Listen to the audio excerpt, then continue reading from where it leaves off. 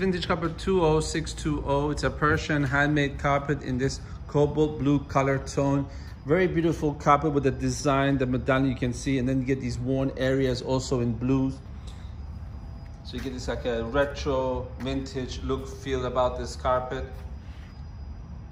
Lines of the carpet are not straight, but well within acceptable limits because it's had some little work done to one or two edges of the carpet. We check, we take the videos of each carpet carefully so we can price each carpet accordingly.